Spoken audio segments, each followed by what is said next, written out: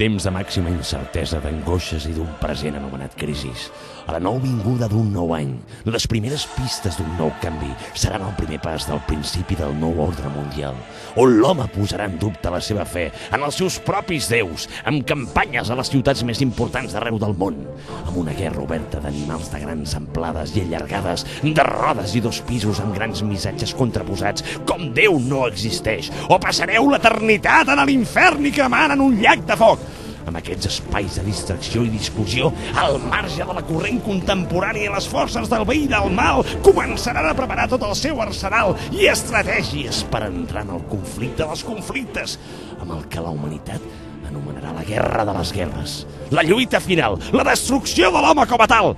però on potser, en un petit rebrot de la certa esperança només els déus dels déus més remots de l'existència podran enviar un nou salvador, utilitzant una eina que pugui paralitzar i unificar de tant en tant els criteris de tots plegats amb la sutilesa de la veritat, del moviment, de l'elegància, de l'escollit com a símbol de la gran escapada cap a un món millor. Ell arribarà de petit d'un altre continent, creixent i formant-se en una de les ciutats de la Mediterrània, portant colors de vida i d'esperança, creant espectacle i bellesa del no-res, amb el nom del representant del zodiac i guiat per la llum dels estels, i ensenyant per sempre més el seu nombre màgic, el 10, per alimentar d'esperança totes les generacions i, per suposat, a les més joves per crear el nou inici, la gran reconquesta de la simplificació i l'esforç, la suor i el treball.